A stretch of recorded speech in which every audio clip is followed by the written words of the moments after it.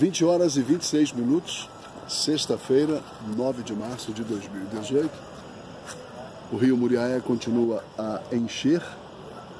Nas últimas duas horas subiu 2 milímetros. Por volta das 18 horas ele estava com 3,83. Agora se encontra com 4,91, ou seja, 8 milímetros. Na realidade, nas últimas duas horas, o rio Muriaé subiu 8 milímetros em Itaperuna. Ele já ultrapassa o nível de alerta.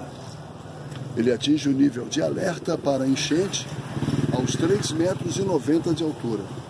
Ele já está com 3,91 por volta das 20 horas e 30 minutos. O rio Muriaé transborda aos 4 metros e 20 chega ao nível de inundação quando atinge a marca dos 4 metros e meio.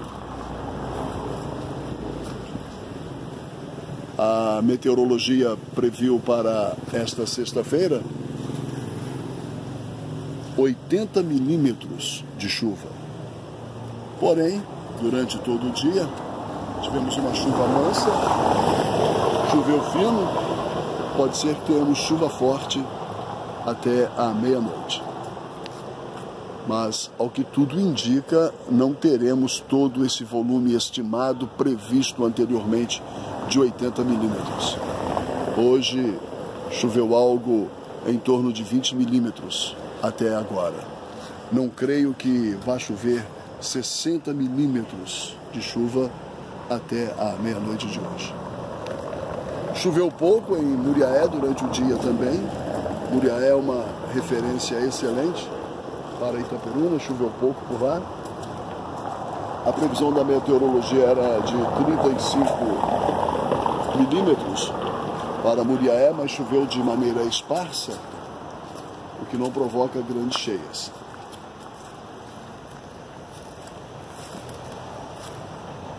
Já temos aqui pessoas que aproveitam né, esse momento para fazer uma pescaria.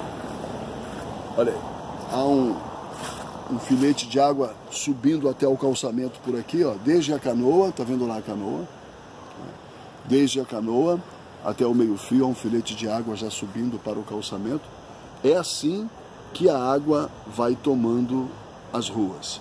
É assim que as enchentes começam. Tá vendo a, a, pressão da água se projetando como se fosse a maré no mar, se projetando sobre a terra seca? Olha aí. É assim que começam as inundações. Nesse trecho aqui que nós já mostramos, vou mostrar mais uma vez aqui ao lado desse carro. Você vai ver e você vai constatar que a água já chegou aos paralelepípedos. Já está aí ó, no calçamento aí à frente desse ônibus escolar. Teve os motoristas tiveram que retiraram os ônibus às pressas quando deu a hora de apanhar os alunos, né, os ônibus que vêm de outras cidades trazendo os universitários. Os motoristas tiveram que fazer essa retirada às pressas, porque a água subiu muito rapidamente.